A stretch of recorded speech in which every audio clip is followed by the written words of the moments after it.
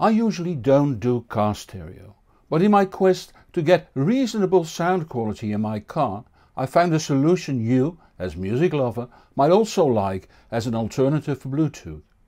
AirPlay uncompressed.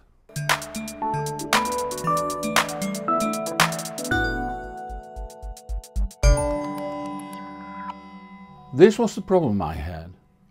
With my new car would I go for A2DP Bluetooth or just plug in the headphone output of my iPhone 6 into the audio input of my car stereo.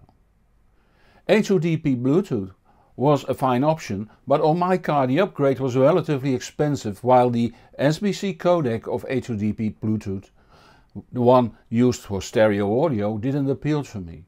Not that it would be a bad codec. To judge that I would have had to evaluate it thoroughly. But the idea that the AAC coded music on my iPhone was decoded to be coded again in SBC wasn't a nice one. Two different codecs, both having their own rules for throwing away information, might lead to a very unpleasant sound, as research has shown already years ago. So I chose the option to use cables for a short while. Not the most attractive option either since I had to run wires from the glove box to the iPhone. Then I thought I might be able to program Raspberry Pi as Wi-Fi access point and install Shairport, a program to let the Raspberry Pi function as an AirPlay station. Googling for a ready to use image that did just that, I came across the Nexum Linka. The Linka measures about 85 by 50 by 15 millimeters and weighs about nothing, slightly over 50 grams.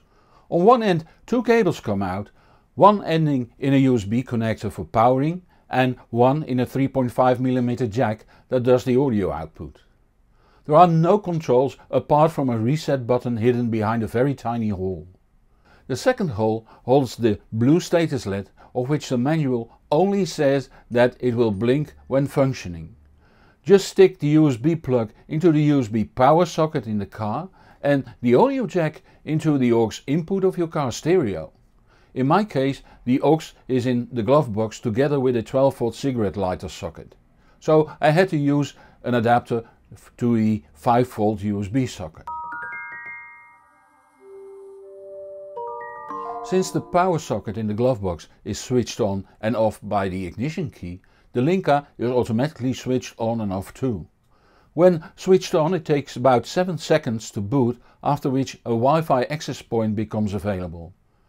You simply log your smartphone onto it and in the music player program that you use select it as an AirPlay station. Since AirPlay uses lossless compression no quality is lost by another codec. According to the manufacturer's information it is also possible to connect it with an Android phone and use DLNA for playback. There are also programs that enable AirPlay on Android devices. Convenience wise the Linka isn't as comfortable as the Bluetooth A2DP option, where Bluetooth automatically connects and even starts playback with the Linka you do need to start the player and select the Linka as AirPlay output. But since it boots within 7 seconds it's probably ready for use before you have buckled up. On the other hand only the music playing is heard over the car speakers and not the bleeps and other sounds a smartphone might make. For phone calls you can still use the car's Bluetooth and the navigation so software I use also uses Bluetooth for driving instructions. Since I only want to use it in a car, I didn't try it on one of the stereo setups I normally use. Although you could link the Linka to your home Wi-Fi network, it is intended to be used as an access point. In the car the unit surprised me since it sounded more open and better in control than the iPhone's headphone output connected over a cable to the same aux in. That might sound strange, but a headphone output is not necessarily the best to drive a line input, as where the Wolfson WM8988 DAC chip used offers proper line outputs. Some say that the DAC causes the better sound.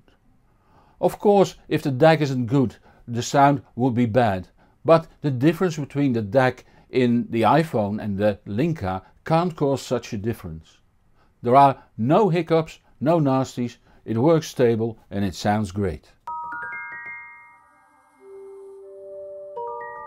Is this a proper review? No. I just came across a good solution for my car and thought it would be nice to share it, since I like it. It was the only device I could find but there might be others around and they might even be better and for less money. But at just under 90 euros I find it a very fine solution. There are people that don't like the fact that Wi-Fi access is not password protected. Others might not like the fact that they have to switch over the iPhone to the Linka. But who will break into the Linka? What damage can be done and how much trouble is it to tap the AirPlay icon and select the Linka? It does improve the sound in the car compared to using the headphone output.